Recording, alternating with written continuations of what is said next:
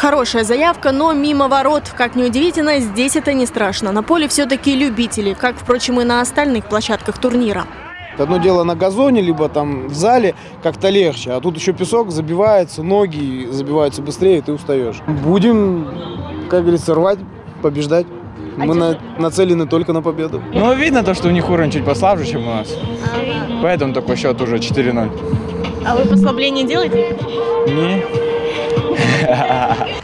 Спортивный энтузиазм берет верх лишь на поле, а идут сюда помогать. В 2017-м Лига любительского спорта впервые организовала волейбольные игры среди компаний города в поддержку больных раком малышей. Взнос за участие перечисляли на счет онкоотделения. Сейчас турнир объединяет еще и футбол, и баскетбол. Весело, приятно отдохнуть, провести время. Ну и плюс командой сближает. Польза есть, то есть усилий особо никаких не прилагаем. Для себя поиграем, то есть поможем. Кстати, уже второй год пациентов детей поддерживают дети-спортсмены. Юный Алтай Баскет играет сам против себя и терпеливо ждет соперников. В этой возрастной категории они единственные. А пока мальчишки подают пример даже своим родителям.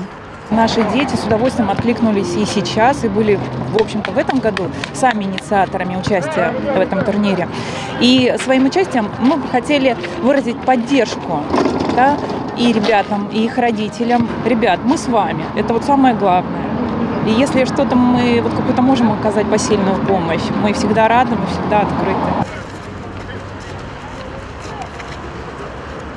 Мы пришли за папу поболеть.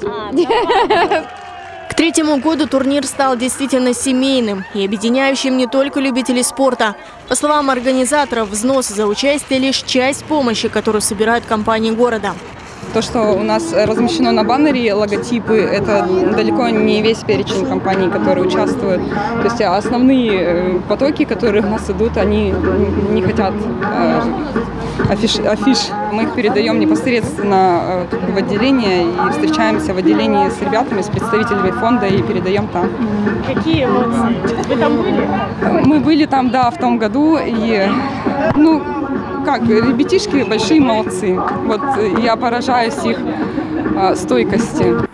В этот раз турнир собрал больше 35 тысяч рублей. Это будущие препараты или билеты в федеральные центры для малышей. На днях деньги передадут в детское онкоотделение. Так, общими силами уверены организаторы и, возможно, бороться за жизнь. Анастасия Дороган, Андрей Печоркин. День с толком.